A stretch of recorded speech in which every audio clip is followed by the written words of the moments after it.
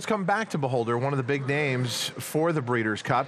And news yesterday, Caleb Keller went to her barn to check on after news had come out that she had spiked a little bit of a traveling fever. The connections were not concerned. They were making plans to come out this morning here at Keeneland, and that's where we start our eye on Beholder. You know, Todd, uh, they actually did make it out here to the racetrack today, pretty much exactly like they were planning on.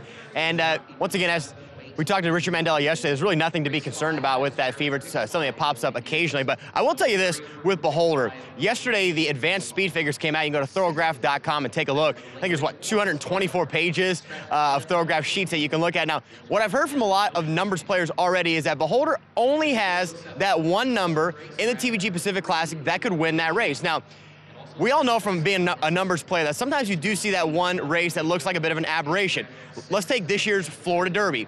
Materiality gets 110 Beyer, Upstart gets a 108, and you're thinking, ooh, really? I mean, that was a that was a slow time. I know the racetrack was dead, but it never felt like that number was going to be solidified, and it wasn't. So sometimes you do see a big number that you can't go back to. But in the case of Beholder, Gary Stevens has said so many times, very rarely are they even trying in these races against the fillies and mares in California in workouts. Sometimes Gary Stevens will work Beholder against a horse with a lot of promise, and they won't ask Beholder because they don't want to ruin the confidence of the other horse she's working with.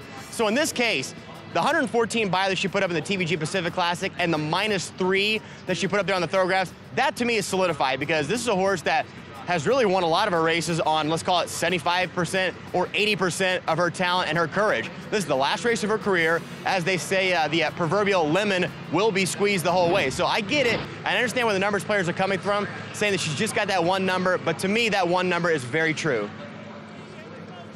Beholder and Gary Stevens didn't win it. They romped in the Pacific Classic. Catch a Flight second, then came Red Vine Opportunity, Imperative behind that, then Hard Aces, Class Leader, Bailout Bobby, Bayern, and Midnight Storm was last.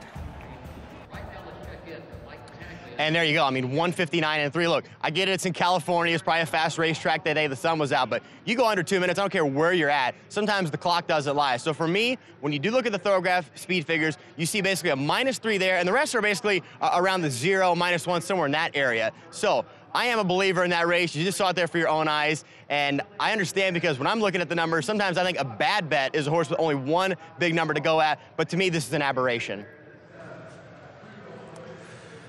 But it is a fair question. I mean, how can she keep just putting up sensational number after sensational number? I mean, uh, you're talking about a horse in a special category who can do that for an extended amount of time.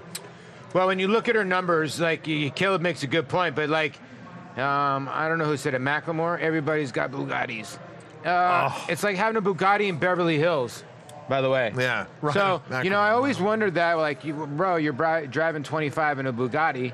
Yeah. You know, roll it out What's- somewhere what's where you can go 125.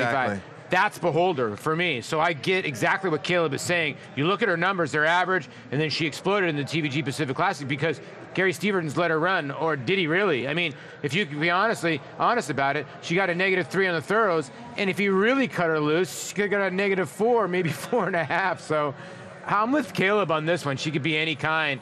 I'm just hoping she's going to be okay. She gets her training in, and everything's on a level playing field. I'm pretty sure no other network covering the Breeders' Cup will reference Ben Macklemore and Ryan Lewis. That's why the kids are flocking to the coverage on TVG.